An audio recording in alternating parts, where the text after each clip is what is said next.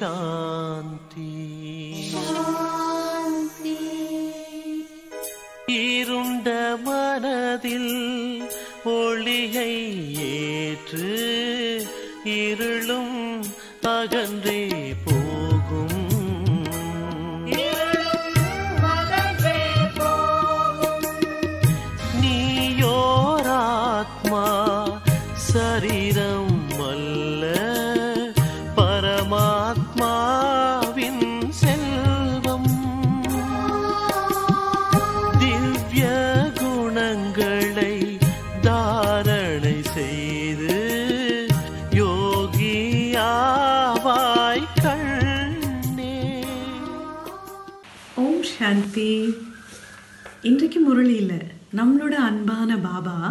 ஒரு முக்கியமான விஷயத்த ஆழமாக நம்மளை சிந்திக்க வைக்கிறார்.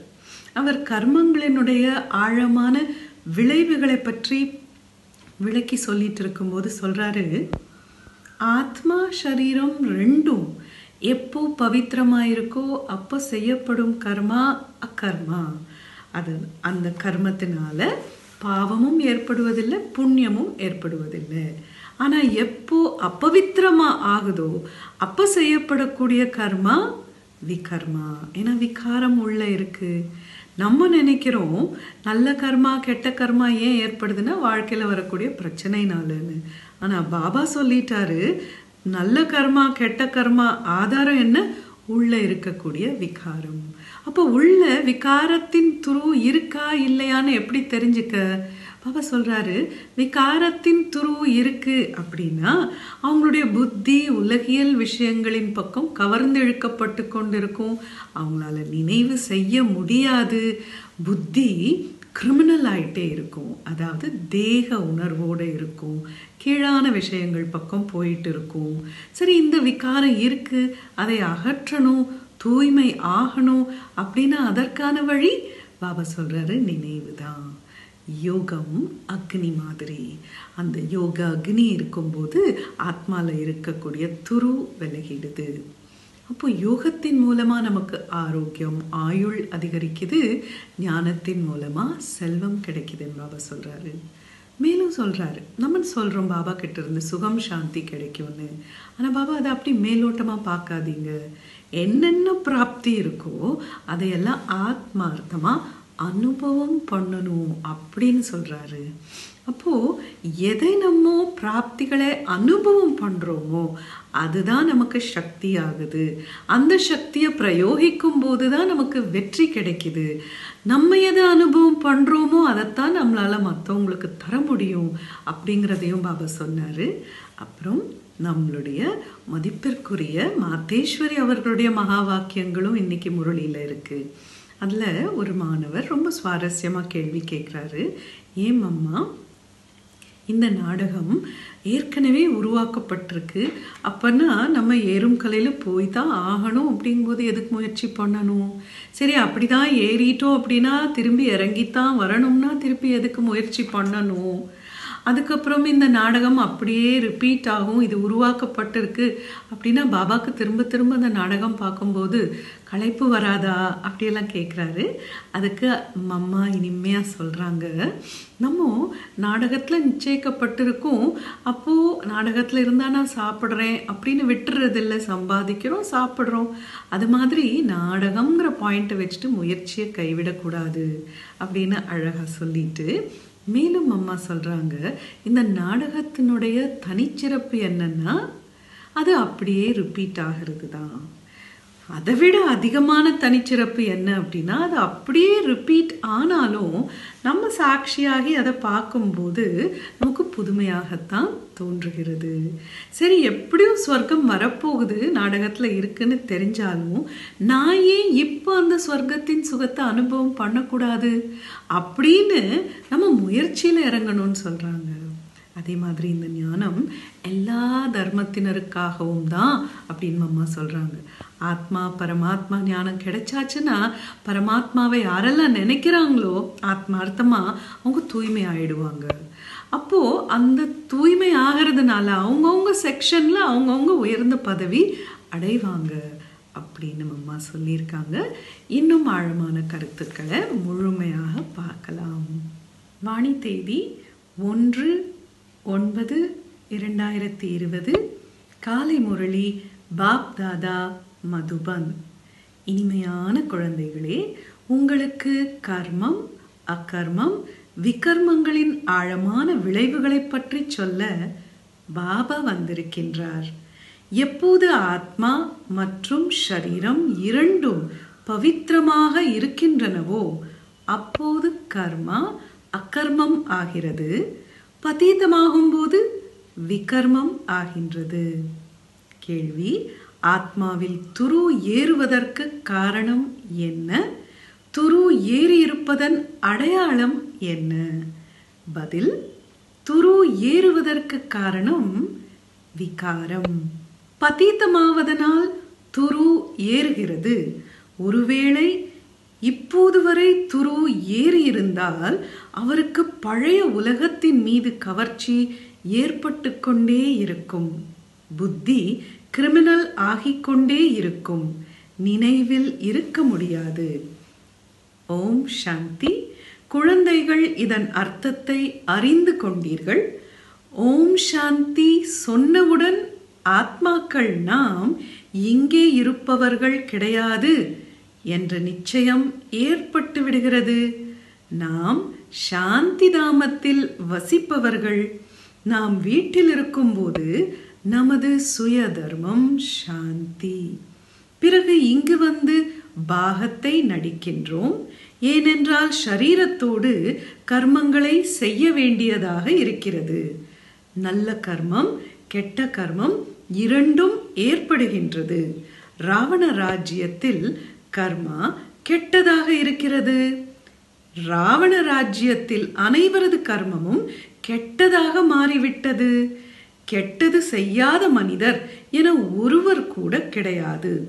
சாது சந்நியாசிகள் பவித்திரமாக இருப்பதனாலும் சந்நியாசம் செய்திருப்பதனாலும் அவர்கள் மூலம் கெட்ட கர்மம் நடக்க முடியாது என மனிதர்கள் நினைக்கிறார்கள். உண்மையில் பவித்திரமானவர் என யாருக்கு சொல்லப்படுகிறது என்பதை முற்றிலும் அறியாமல் இருக்கின்றார்கள். நாங்கள் பதீத்தமாக இருக்கின்றோம் என சொல்கிறார்கள். பதீத்த பாவனரை அழைக்கிறார்கள். அவர் எதுவரை வரவில்லையோ அதுவரை உலகம் தூய்மையாக மாற முடியாது. இங்கே இது பதீத்த பழைய உலகம். எனவே தூய்மையான உலகத்தை நினைவு செய்கிறார்கள். தூய்மையான உலகத்திற்கு செல்லும் போது பதீத்த உலகத்தை நினைக்க மாட்டார்கள். அந்த உலகமே வேறு. ஒவ்வொரு பொருளும் முதலில் புதியதாகவும் பிறகு பழையதாகவும் மாறுகிறது. புதிய உலகத்தில் பதீதமானவர் ஒருவர் கூட இருக்க முடியாது. புதிய உலகத்தை படைப்பவர் பரம்பிதா பரமாத்மா. அவரே பதீத பாவனராக இருக்கின்றார். அவருடைய படைப்பும் நிச்சயமாக தூய்மையாக இருக்க வேண்டும். அபவித்திரத்திலிருந்து பவித்திரமாவது பவித்திரத்திலிருந்து அபவித்திரமாவது. இந்த விஷயங்கள் உலகத்தில் யாருடைய புத்தியிலும் இருக்க முடியாது. ஒவ்வொரு கல்பமும் தந்தையே வந்து புரிய வைக்கின்றார். குழந்தைகள் உங்களிலும் பலருக்கு நிச்சய புத்தி ஏற்பட்ட பிறகு சந்தேக புத்தி வந்து விடுகிறது. மாயா முற்றிலும் விழுங்கி விடுகிறது. நீங்கள் மகாரதிகளாக இருக்கின்றீர்கள். மகாரதிகளை சொற்பொழிவாற்ற அழைக்கின்றார்கள். மகாராஜாக்களுக்கும் புரிய வைக்க வேண்டும். நீங்கள் முதலில் தூய்மையாக பூஜைக்கு உரியவராக இருந்தீர்கள். இப்பொழுது இது பதீத்த உலகமாக இருக்கிறது. தூய்மையான உலகத்தில் பாரதவாசிகள் மட்டும் மட்டும் இருந்தார்கள். பாரதவாசிகள் நீங்கள் ஆதி சனாதன தேவி தேவதா தர்மத்தின் இரட்டை கிரீடமணிந்த முற்றிலும் விகாரமற்றவர்களாக இருந்தீர்கள். மகாரதிகள் இப்படி புரிய வைப்பார்கள் தானே? இந்த போதையோடு புரிய வைக்கப்படுகின்றது. காமச்சிதையில் அமர்ந்து நீலமாகிவிட்டீர்கள் பிறகு ஞானச்சிதையில் அமர்வதால் வெண்மை ஆகின்றீர்கள்.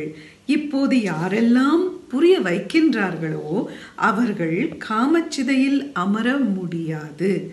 எனினும் மற்றவர்களுக்கு புரிய வைத்துக் கொண்டே தாம் காமச்சிதையில் அமர்ந்து விடுபவர்களும் இருக்கின்றார்கள்.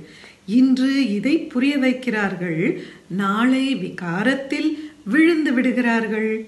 மாயா அவ்வளவு வலிமையாக இருக்கிறது. அதை பற்றி கேட்கவே வேண்டாம். பிறருக்கு புரிய வைப்பவர் தாமே காமச்சிதையில் அமர்ந்து விடுகிறார். பிறகு என்ன இப்படி ஆகிவிட்டதே என வருத்தப்படுகிறார்கள். குத்து சண்டையாகும். பெண்ணை பார்த்தவுடன் கவர்ச்சி ஏற்பட்டது. முகத்தை கருப்பாக்கிக் கொண்டார். மாயா மிகவும் வலிமையானது. உறுதிமொழி கொடுத்த பிறகு விழுந்து விட்டால் நூறு மடங்கு தண்டனை கிடைக்கின்றது. அவர்கள் சூத்ரருக்கு சமமாக பதீதமாகிவிட்டார்கள் அமிர்தம் குடித்த பிறகு வெளியில் சென்று பிறருக்கு தொல்லை கொடுத்தார்கள். கெட்ட காரியங்களை செய்தார்கள் என சொல்லப்படுகிறது. இரண்டு கைகளால் கை தட்டப்படுகிறது.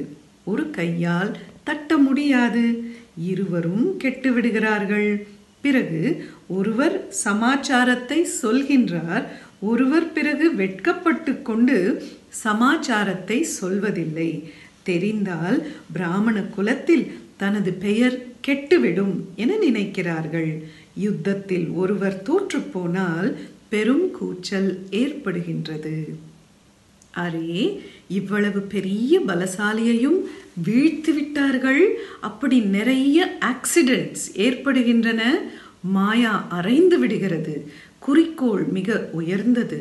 யார் சதோ பிரதானமாக வெண்மையாக இருந்தார்களோ அவர்கள் காமச்சிதையில் அமர்ந்து கருப்பாக தமோ பிரதானமாக மாறிவிட்டார்கள் என இப்போது குழந்தைகள் நீங்கள் புரிய வைக்கின்றீர்கள். ராமரையும் கருநீலமாக உருவாக்குகிறார்கள். பலருடைய சித்திரங்களை கருநீலமாக உருவாக்குகிறார்கள். எனினும் முக்கியமானவர்களுடைய விஷயங்கள் விளக்கப்படுகின்றன. இங்கும் ராமச்சந்திரரின் கருநீல உருவம் இருக்கின்றது. கருநீலமாக ஏன் செய்து வைத்திருக்கின்றீர்கள் என அவர்களிடம் கேட்க வேண்டும். அப்போது இது இறைவனின் விருப்பம் தொன்று தொட்டு இப்படிதான் தொடர்ந்து வருகிறது என்று சொல்வார்கள். என்ன நடக்கிறது? ஏன் நடக்கின்றது என்ற எதுவுமே தெரியவில்லை.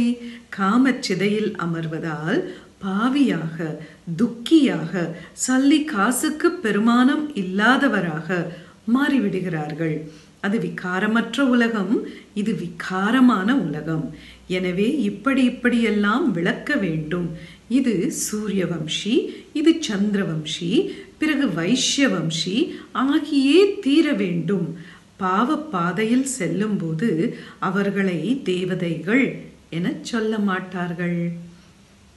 ஜெகநாதர் கோவிலில் மேலே தேவதா குலத்தை காண்பித்திருக்கின்றார்கள். ஆடைகளை தேவதைகளுடையதாகவும் செயல்களை மிக இழிவாகவும் காட்டுகிறார்கள். பாபா எந்த விஷயங்களின் மீது கவனத்தை ஈர்க்கின்றாரோ அதன் மீது கவனம் கொடுக்க வேண்டும். கோவில்களில் அதிக சேவை நடக்க முடியும். ஸ்ரீநாத் கோவிலிலும் புரிய வைக்க முடியும். இவரை ஏன் கருப்பாக செய்து வைத்திருக்கிறார்கள் என கேட்க வேண்டும். இதை விளக்கிச் சொல்வது மிகவும் நல்லது. அது பொன்னுலகம் இது இரும்புலகம். இதில் துரு ஏறிவிடுகிறது. இப்போது உங்கள் துரு நீங்குகின்றது. நினைவு செய்யாதவர்களிடமிருந்து துரு இறங்குவதில்லை. அதிக அளவு துரு ஏறி இருந்தால் அவர்களுக்கு பழைய உலகின் மீது ஈர்ப்பு ஏற்பட்டு கொண்டே இருக்கும். விகாரத்தால் மிக அதிகமாக துரு ஏறுகிறது. அதன் மூலமாகவே பதீத்தர்களாகவும் ஆகிறார்கள். நமது புத்தி கிரிமினல் ஆவதில்லைதானே? என உங்களை சோதித்து பார்க்க வேண்டும். நல்ல நல்ல முதல் தரமான குழந்தைகளும் தோல்வி அடைந்து விடுகிறார்கள். தூய்மைதான் முக்கியமான விஷயமாக இருக்கிறது என்ற புரிதல் இப்பொழுது குழந்தைகள் உங்களுக்கு கிடைத்திருக்கின்றது. ஆரம்பத்திலிருந்து இந்த விஷயத்தில்தான் சண்டை நடந்து வருகின்றது. தந்தை இந்த யுக்தி படைத்தார். நாங்கள் ஞானம் அமிர்தம் குடிக்கப் போகின்றோம் என அனைவருமே சொன்னார்கள். ஞான அமிர்தம் ஞான கடலிடம் மட்டுமே இருக்கின்றது. சாஸ்திரங்களை படிப்பதனால் ஒருவர் தூய்மையற்ற நிலையிலிருந்து தூய்மை ஆக முடியாது. தூய்மையாக மாறி பிறகு தூய்மையான உலகத்திற்கு செல்ல வேண்டும். இங்கே தூய்மையான பிறகு எங்கே செல்வீர்கள்? இன்னார் மோட்ச பதவி பெற்றார் என மனிதர்கள் நினைக்கின்றார்கள். ஒருவேளை மோட்ச பதவி பெற்றுவிட்டால் அவருக்கு இறுதி சடங்கு போன்ற எதையும் செய்ய முடியாது என்பதை பற்றி அவர்களுக்கு என்ன தெரியும்? அவருக்கு எந்த சிரமமும் ஏற்படக்கூடாது இருளில் தடுமாறக்கூடாது என்பதற்காக விளக்கேற்றி வைக்கின்றார்கள். ஆத்மா ஒரு உடலை விடுத்து மற்றொன்றை எடுப்பது ஒரு நொடியின் விஷயம். பிறகு எங்கிருந்து இருள் வந்தது? இந்த வழக்கம் தொடர்ந்து வருகிறது. நீங்களும் செய்தீர்கள் இப்போது எதையும் செய்வதில்லை. உடல் மண்ணோடு கலந்து விட்டது என்பது உங்களுக்கு தெரியும்.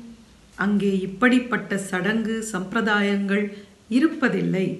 இந்த கால மாய மந்திரங்களிலும் எதுவும் கிடையாது. ஒருவருக்கு இறக்கை வருவதாக கொள்வோம். அவர் பறக்க ஆரம்பிக்கிறார். அதனால் என்ன? அதனால் என்ன நன்மை கிடைக்கும்? என்னை நினைவு செய்தால் பாவங்கள் அழிந்துவிடும் என பாபா சொல்கிறார்.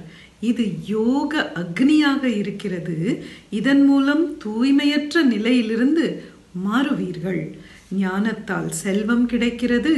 யோகத்தால் எப்போதும் ஆரோக்கியம் உடையவராகவும் பவித்திரமாகவும் ஞானத்தால் எப்போதும் செல்வந்தராகவும் மாறுகிறீர்கள்.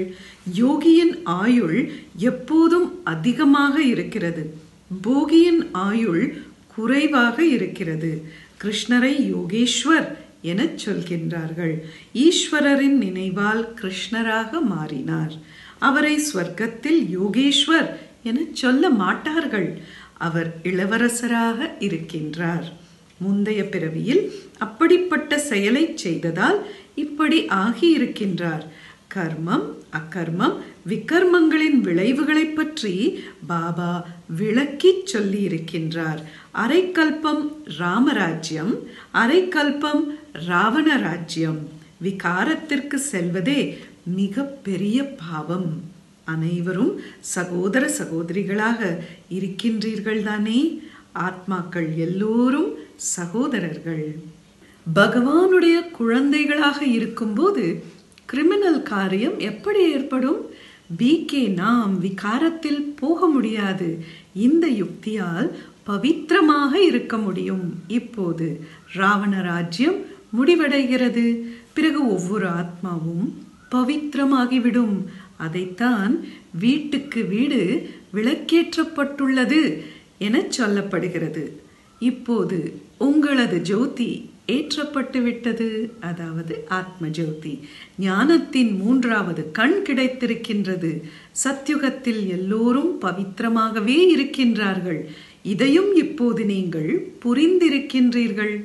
மற்றவருக்கு புரிய வைக்க குழந்தைகளிடம் வரிசை கிரமமான சக்தி இருக்கிறது. வரிசை கிரமமாக நினைவில் இருக்கிறார்கள். ராஜதானி எப்படி ஸ்தாபனையாகிறது என்பதை யாருடைய புத்தியிலும் இருக்க முடியாது. நீங்கள் சேனையாக இருக்கின்றீர்கள். நினைவு பலத்தினால் பவித்திரமாகி நாம் ராஜாராணி ஆகிக் கொண்டிருக்கின்றோம் என்பதை அறிந்திருக்கின்றீர்கள். பிறகு அடுத்த பிறவியில் golden spoon in your mouth அது ஒரு ஆங்கில ப்ராவர்ப் அதை சொல்லும்போது பிறக்கும் போதே செல்வ வளம் சுகம் சாந்தி நிறைந்த இடத்துல பிறப்பீங்க. அப்படிங்கிற அர்த்தம். பெரிய பரீட்சையில் தேர்ச்சி பெறுபவர்கள் பெரிய பதவியும் பெறுவார்கள். எவ்வளவு படிப்போ அவ்வளவு சுகம். வித்தியாசம் இருக்கிறது தானே? இங்கே பகவான் கற்பிக்கின்றார். இந்த போதை ஏறி இருக்க வேண்டும். இங்கே ஊட்டச்சத்து நிறைந்த உணவு கிடைக்கிறது. ஆத்மாவுக்கு பகவானை தவிர இப்படி பகவான் பகவதியாக யார் மாற்ற முடியும்? நீங்கள் இப்போது தூய்மையற்ற நிலையிலிருந்து தூய்மையாகிறீர்கள். பிறகு ஜென்ம ஜென்மங்களுக்கு சுகமுடையவர்கள் ஆகிவிடுகிறீர்கள். உயர்ந்த பதவி பெறுவீர்கள். படிக்கும் பொழுது சிலர் அப்பவித்திரமாக தாழ்ந்தவராக ஆகிவிடுகிறீர்கள். தேக அபிமானத்திற்கு வருவதனால் ஞானத்தின் கண் மூடிக்கொள்கிறது. மாயா மிகவும் வலிமை வாய்ந்தது. மிகுந்த முயற்சி தேவை என பாபா தாமே சொல்கின்றார்.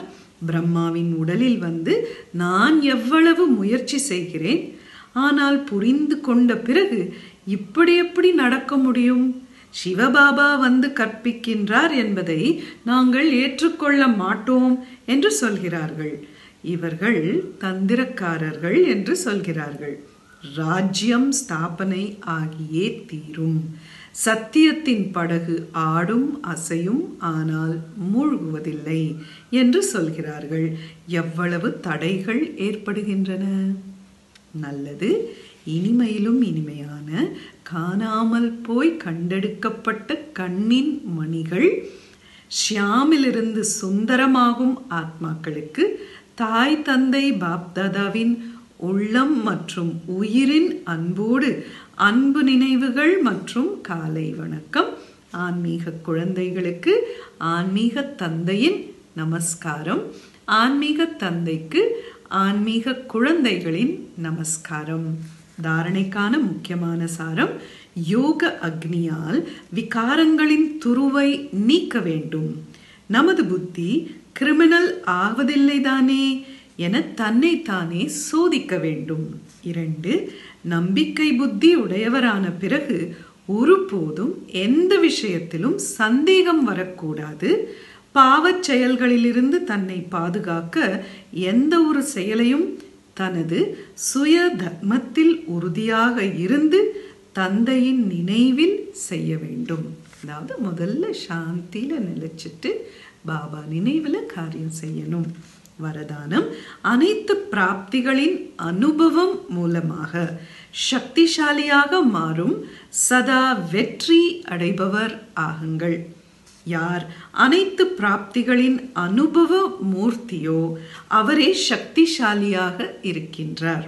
அப்படிப்பட்ட சக்திசாலி அனைத்து பிராப்திகளின் அனுபவ ஆத்மாக்களே வெற்றி மூர்த்திகளாக மாற முடியும். ஏனென்றால் இப்பொழுது அனைத்து ஆத்மாக்களும் சுகம் சாந்தியின் மாஸ்டர் வள்ளல்கள் எங்கே என தேடுவார்கள்?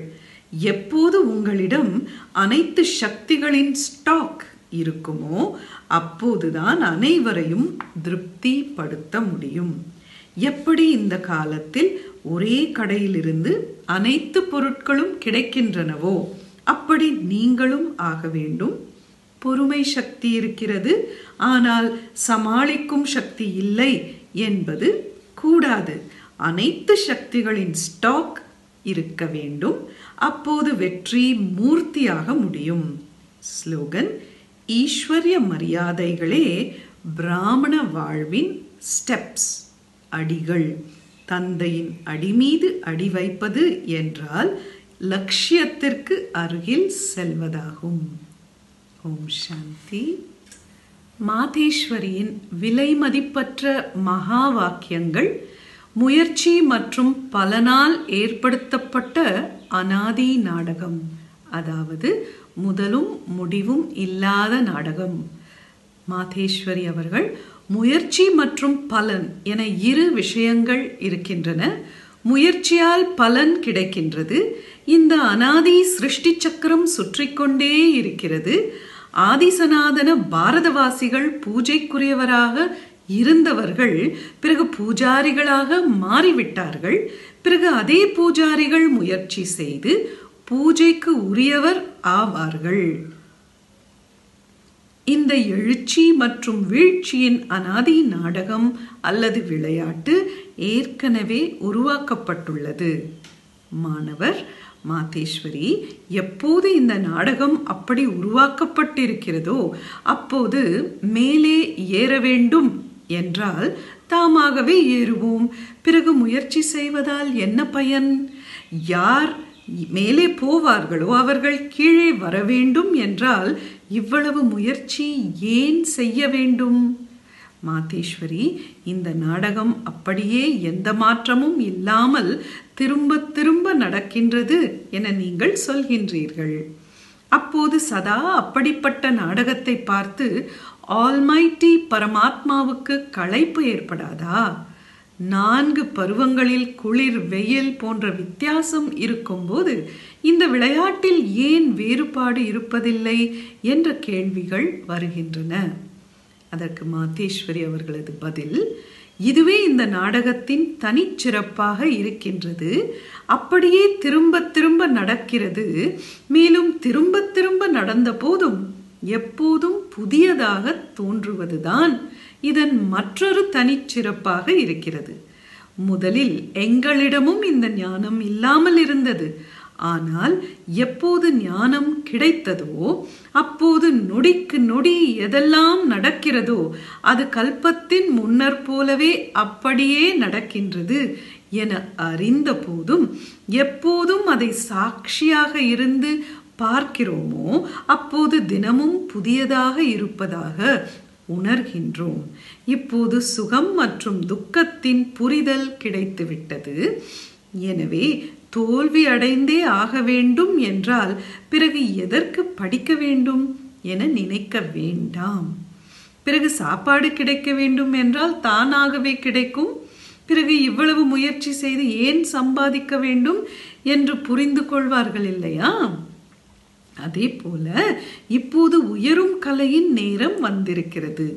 அதே தேவகுலம் ஸ்தாபனையாகிக் கொண்டிருக்கிறது என்றால் இப்போதே அந்த சுகத்தை நாம் ஏன் அடையக்கூடாது என்பதை நான் பார்த்து கொண்டிருக்கின்றேன். அதே போல இப்போது ஒருவர் நீதிபதியாக விரும்பினால் எப்போது முயற்சி செய்கிறாரோ அப்போதே அந்த டிகிரியை பெற முடியும் என்பதை பார்க்கின்றோம். ஒருவேளை அதில் தோல்வி அடைந்தால் முயற்சியெல்லாம் வீணாய் போகிவிடுகிறது. ஆனால் இந்த அழியாத ஞானத்தில் அப்படி எதுவுமே நடப்பதில்லை. கொஞ்சம் கூட இந்த அழியாத ஞானம் அழிந்து போவதில்லை. இவ்வளவு முயற்சி செய்யாமல் தேவகுலத்தில் வராமல் போனாலும் ஒருவேளை குறைந்த முயற்சி செய்தாலும் அந்த சத்யுக தேவ பிரஜையாக வர முடியும். ஆனால் முயற்சி செய்ய வேண்டியது அவசியம். ஏனென்றால் முயற்சி செய்வதனால் மட்டுமே பலன் கிடைக்கும். பெருமையெல்லாம் முயற்சிக்கே என பாடப்பட்டுள்ளது. இந்த ஈஸ்வர்ய ஞானம் அனைத்து மனித ஆத்மாக்களுக்காகவும் இருக்கின்றது. முதன் முதலில் நீங்கள் ஒரு முக்கிய கருத்தை அவசியம் நினைவில் வைக்க வேண்டும். எப்போது இந்த மனித சிருஷ்டி மரத்தின் விதை ரூபமாக பரமாத்மா இருக்கிறாரோ? அந்த பரமாத்மா மூலமாக எந்த ஞானம் கிடைக்கின்றதோ? அது அனைத்து மனிதர்களுக்கும் அவசியமானது. அனைத்து தர்மத்தை சேர்ந்தவர்களும் இந்த ஞானத்தை பெறுவதற்கு அதிகாரம் இருக்கிறது. ஒவ்வொரு தர்மத்தின் ஞானமும் வெவ்வேறாக இருக்கின்றது. ஒவ்வொருவரின் சாஸ்திரமும் வெவ்வேறாக இருக்கின்றது. ஒவ்வொருவர் வழியும் வெவ்வேறாக இருக்கிறது. ஒவ்வொருவர் சம்ஸ்காரமும் வெவ்வேறாக இருக்கிறது. ஆனால் இந்த ஞானம் அனைவருக்காகவும் இருக்கிறது. அவர்கள் இந்த ஞானத்தை பெற முடியாமலும் இருக்கலாம் நம்மிடம் வராமலும் இருக்கலாம். எனினும் அனைவரின் தந்தையாக இருக்கும் காரணத்தினால் அவரோடு யோகம் வைப்பதால் பிறகு அவசியம் பவித்திரமாக மாறுவார்கள். இந்த தூய்மையின் காரணத்தினால் தனது செக்ஷனில் அதாவது பிரிவில் அவசியம் நல்ல பதவி பெறுவார்கள். ஏனென்றால் யோகத்தை அனைத்து மனிதர்களும் ஏற்றுக்கொள்கிறார்கள். எங்களுக்கும் மோட்சம் தேவை என பல மனிதர்கள் அப்படியே சொல்கிறார்கள். ஆனால் தண்டனையில் இருந்து தப்பிக்க தேவையான சக்தி இந்த யோகத்தின் மூலமாகவே கிடைக்க முடியும். நல்லது.